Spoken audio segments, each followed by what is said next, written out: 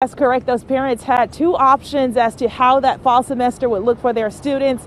Uh, so some of them will be arriving here shortly when school starts at around 7:20. They haven't had heard a school bell ring in a long time, so definitely excitement behind that. There are around 12,000 students here.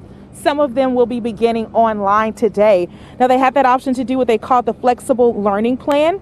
That meant that their learning style depends on the current case count of COVID-19 there was also the option for Fox C6 Virtual Academy. That's where students will learn virtually with a one semester commitment. This morning, students will start on a somewhat staggered schedule with the last names A through LAF beginning virtually and the rest beginning in class if they make that option. Now, joining me here this morning is Dr. Ryan Sherp. He's the principal of Fox High School. Good morning to you. Good, good morning. How are you? I'm doing well. So tell me how you're feeling today. I'm sure there's a lot of uh, anticipation, excitement, nerves going on. What are you thinking this morning as you guys begin? Yeah, all the above. I mean, I can't tell you how excited I am to be back at school with kids. We haven't had kids since March. Um, we have had students up here, though, that are participating in athletics, so that's been great. But first day of school, I mean, you got to be excited about that, and I can tell you, I can't wait. Our teachers can't wait.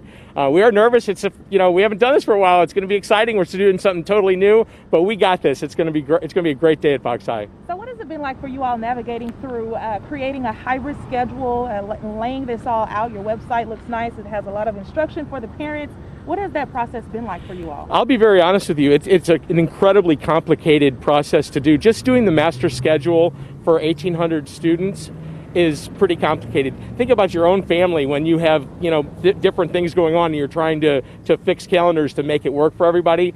That's basically what building a master schedule is like when you have 110 teachers and 1,800 kids and trying to make all those pieces go together. Now, when you have certain kids that aren't going to be here certain days and, and are going to be here some days, building that schedule was an incredibly difficult process, but I think we pulled it off.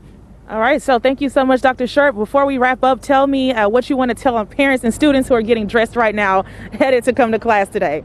Come on in, Fox High. We're ready for you. Hey, listen, my daughter's a senior this year at Fox High. She was so excited. She woke up before I did today. She's like, Dad, take a picture of me. It's my senior year. I'm like, honey, of course I'm going to take a picture of you.